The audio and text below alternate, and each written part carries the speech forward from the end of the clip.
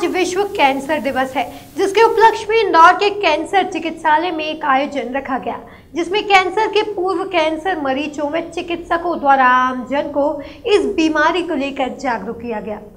इंदौर के शासकीय कैंसर अस्पताल के अधीक्षक डॉक्टर रमेश आर्य ने बताया कि विश्व कैंसर दिवस के दिन मंगलवार को जागरूकता कैंप लगाया गया, जिसमें मुँह का कैंसर, स्तन कैंसर व अन्य तरह के कैंसर बीमारियों के बारे में मरीजों, उनके परिजनों व अन्य लोगों को जानकारी दी गई। वहीं इस दौरान अच्छे हुए कई पूर्व मरीजों को बुलवाया गया।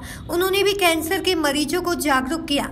कैंसर अस्पताल के अधीक्षक के मुताबिक कैंसर दिवस पर बॉम्बे हॉस्पिटल के एम एससी नर्सिंग प्राइमरी के कुछ विद्यार्थियों को अस्पताल में आमंत्रित किया गया, जिन्हें प्राइमरी कैंसर लक्षण व डायग्नोसिस की जानकारी दी गई।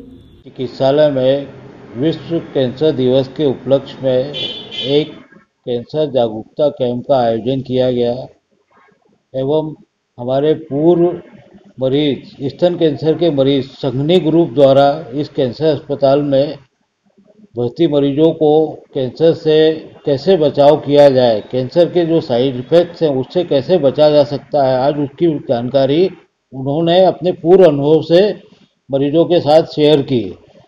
और साथ में बॉम्बे हॉस्पिटल की एमएससी